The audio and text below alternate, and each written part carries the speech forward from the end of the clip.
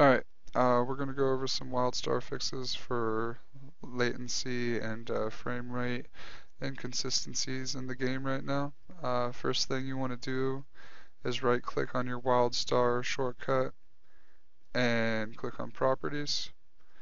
Uh, you're either going to have a WildStar.exe with no quotes or with a quote. Either way, after this exe or after the quote, you're going to have a space with minus sign dx9. That's minus sign or dash dx9.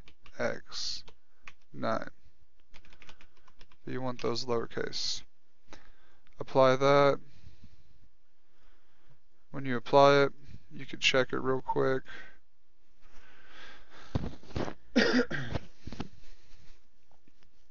Loading your game up. Once your game's loaded up, it will display your current DirectX version being used. Right down here, blow it up so you can see it. You will see DX9 instead of DirectX 11 where my mouse is at. And when that happens, you know it's working. Notice this as well on 64-bit computers. We're going to switch this over to 32-bit for consistency because right now the way their files are set up it's running better on that. And that's just how uh, data structures are set up around uh, the 32-bit system. So uh, it's just it's more intricate than that. But anyways we're gonna go over some other commands now properties of the shortcut. So right click that and go to properties again. You're going to go to compatibility and just trust me on this, you want to run the compatibility mode uh, as Windows XP Service Pack 2. It's going to switch that over to the 32-bit mode and then your game will run smoother because of the way the file format is set up. Do this. If you're going to play in full screen and just have to do it, disable visual themes and desktop composition. All that's doing is making your computer focus on the game rather than keeping an eye per se on your desktop so you could easily alt tab to it. Instead, when you have these checked and you're playing full screen, when you alt tab, it has to call upon your desktop again, so it takes a couple seconds longer, but it's well worth it for stability in full screen mode. If you're going to play windowed mode, go ahead and leave those unchecked. Run the program as administrator, apply that, and before we go anywhere else too fast, you're going to want to click on your start menu, computer, right here like this, right click it, click on properties, go to the left side tree, go to Advanced System Settings. When you're Advanced System Settings, you're going to want to click on the Advanced tab, make sure you're on the Performance group box and click on the Settings button. When you're on the Settings button, you want to switch over to Adjust for Best Performance.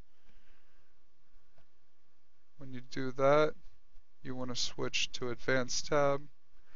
You're going to look at your virtual memory and we're going to give you some extra game room basically on your RAM. Uh, it's a virtual RAM drive and it allows you to basically add more RAM to your system so larger games like this can still run on your computer with low amounts of RAM. So this is a big boost for somebody who has low amounts of RAM or is just blue screening consistently and wants to change that. If you have extra space available on your hard drive, I have 18,000 megabytes, which is roughly 18 gigabytes. I'm going to use about three-fourths of that, and I'm going to go with an initial size of 12,000 and a maximum size of 14,000 megabytes uh, bits. And uh, anyways, that's going to give me roughly 14 and 12 gigs initial and maximum that's a fairly good size and that that's probably anywhere from two to seven times your actual RAM at this current state and time. So if you don't know what it is, or if you do know what it is, it's a good thing. Uh, you're probably going to have to uncheck this box here when you get to the virtual memory page as reference and highlight your solid state drive preferably. It will make your paging file work that much faster when you do do this and add your custom size and click set. When you click set, it's either going to let you click OK or it's going to ask you to click uh, to restart your computer. Either way, you're going to want to restart your computer at that point and when you come back you'll be ready to change some settings inside of WildStar.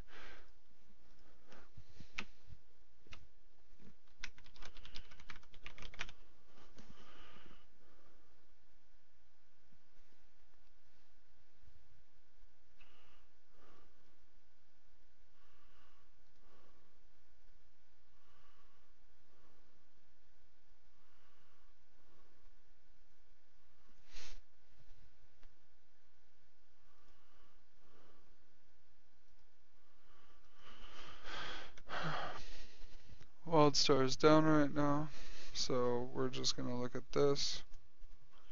You're going to go to your video, and just a quick reference real quick, when you play in windowed mode for this game, when you play like this, uh, you want to start out like this if you have a terrible computer, um, and slowly drag it out so you could see but at the same time you're also fine tuning your lag basically with the size of your screen because the more pixels right here that are being displayed on your screen at the current point in time is literally the more energy and processing power required to display that. So if you have it like this, it may be a little bit pixelated, but when you're in game, you can see what's going on and you can play and it'd be a lot less lag free. You could also multitask probably.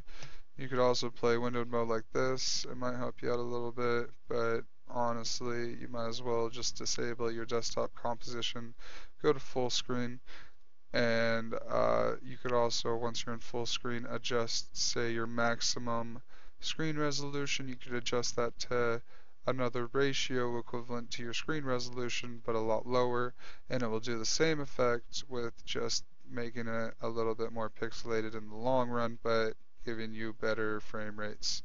Uh, you also want to disable your camera shake.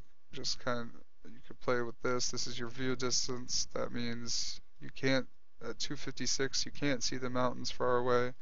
124, you can see the mountains and the horizon far away. 124 on the fogged means no fog real far away. 2048 on the fog, that means that's how far is fogged, and yeah, that's that's a lot of fog. So anyways, usually you'd want to slowly just kind of adjust these. I like to have them like that. That's just because my computer is a desktop and it runs pretty well. Anyways, you're going to want to switch this to bilinear as well and the texture filtering. Of course, you're going to have low quality. Turn your clutter distance and parallax down. Clutter density to low. Shadow settings off. You could change your you could change your render target scale to 0.5 and it's going to look like something out of Duke Nukem when you're seeing models and whatnot through the game.